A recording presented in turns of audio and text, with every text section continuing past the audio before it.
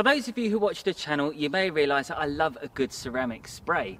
Now I've been testing ones from Meguiar's, Turtle Wax, Yum Cars, Bear Car Care and Garage Therapy and I've been really impressed by the way they all perform. But can these valeting veterans take on the weekend warriors? Let's find out.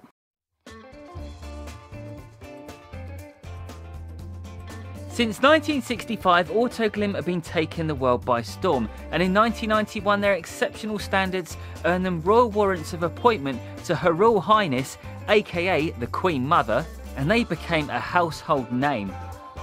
But fast forward 30 years, and with the rise of other trending car care companies in the detailing scene, it seems like people are forgetting they even exist.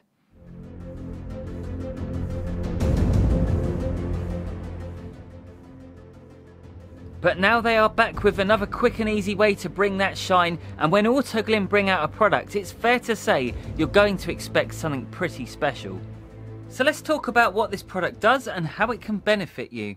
So this is a ceramic hybrid formula that quickly bonds to the paintwork with a simple spray and a microfiber buff. So basically it's a spray and shine, so compared to waxing by hand, it's definitely great for those people who are in a hurry and like most ceramic sprays, it will definitely benefit the trade detailer who needs to get instant results. So for those of you who already have a ceramic coating on your car, this can make a great top up.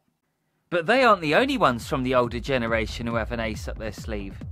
At 75 years old, Turtle Wax is still going strong and after a relatively quiet spell, they came back with the Hybrid Solutions range, and in 2020, they went all out with their graphene range, and the product I want to compare it against today is their very own Flex Wax. So today I'm going to be letting these two companies battle it out and at the end of the video I'm going to pick a winner so make sure you stick around till the very end as this one is going to be very close. So let's just imagine that we're in Halfords for a minute. Hang on, hold that thought. Now let's just imagine that we're in Halfords for a minute. We've got all these bottles here. One of the biggest problems that you find with Autoglym is they all look quite alike. Now I know when it comes to marketing it's really good to be on point with your branding, but for the younger generation of today, they don't understand how good Autoglym is. Now, for the older generation, if you were to go back 15 years before we had Instagram and things like that, Autoglym were always going to dominate because they were everywhere. They were in every single magazine. But now, when you've got the likes of the big boys like Turtle Wax bringing out stuff like this. When you put these two bottles together, you're going to be more enticed to go for this one. Not just because it says graphene, but because the packaging also looks really good as well. And they really have done their homework on their branding.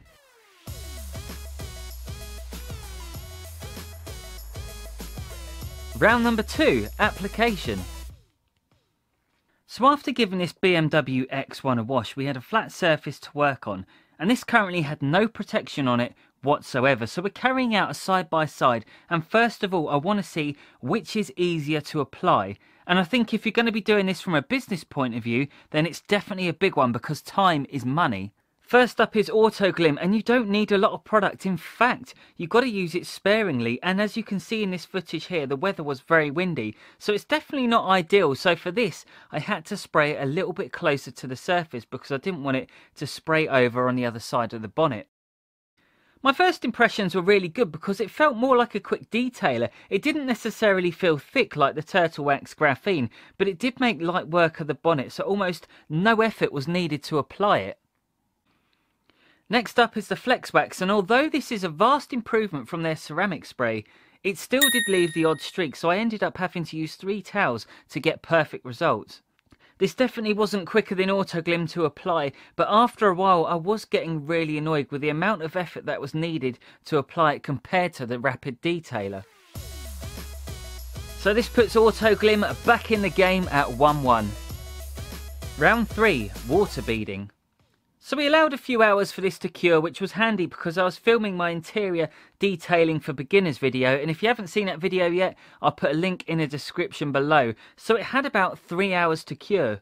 And when it came to rinsing, it was ridiculously close to the point no human being could even tell the difference. But for me, if I had to pick a winner, I would pick Turtle Wax. Purely for the fact the water was beading off a lot quicker. So that's another point to Turtle Wax, making it 2-1. Round number 4, the one wash test. So a couple of weeks ago I tested both these products out on a customer's BMW estate and again on one side I applied turtle wax and on the other I applied the Autoglym and with the turtle wax I still got those really bad streaks and it was a lot worse because the paint was a lot darker. Now I'm not saying this is a deal breaker because it is easy to correct but still for the average Joe it just may be a little too annoying. So it's had its first wash since then. Unfortunately, while I was filming the other video for the BMW M8, which is coming soon by the way, we had some rain. So as you can see, in the rain it was really beading off quite nicely. But it was going a little bit better in Autoglym's favour. So Autoglym gets another point for that, making it 2 all.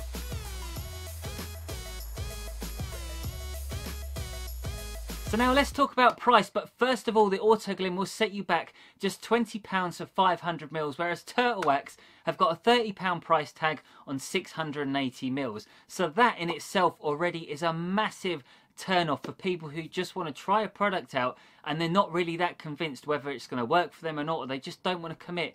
That is such a huge amount of money for one bottle. And I know you do get a little bit extra, but you got to think more about the market and think more about the industry and the people who buy these products. We're weekend warriors, we're car detailers. We like to buy products and move on to the next one. It's part of like the learning process. We find things that we enjoy and then we move on to another one. Even if we think that one product is the very best out there, it doesn't necessarily mean we're going to go out and buy the same bottle. We just like to try different things. But for me, there is one massive deciding factor, and it's the amount of time it takes to apply these products. Now, both of these are supposed to be quick and easy, but at the end of the day, it took me 10 minutes longer to apply the turtle wax. And if you work that out over, let's just say you do six cars per week in your business, you're doing it as a standalone upsell, or even if you're not, that's going to work out of two days of your life within the year that you are going to lose. And at the end of the day, time is money. So for me, there has to be a clear and easy winner, and it's Autoglym. And this isn't me having a dig at Turtle Wax. In fact, this is one of my favourite products of the year so far. It is fantastic, but it's just the time issue. That was the only thing that I could really think that would actually separate these two. To the untrained eye, both the products looked exactly the same, and there was a tiny, tiny bit of difference, which nobody would even notice if you put it on their car. And before we go, I just want to reach out to one of my subscribers and I really want him to make a very quick, speedy recovery. Martin Sanford, my heart goes out to you. I can't imagine what it's like to have chemotherapy and radiotherapy. I hope you get back on your feet and I hope you receive our little goodie box that we're sending in your direction. So look, I wish you a speedy recovery and I hope everybody can comment in the box below and also wish you a quick recovery and get you back on your feet. As for me, I will see you in a couple of days for a brand spanking new video. I'll see you later. Bye bye.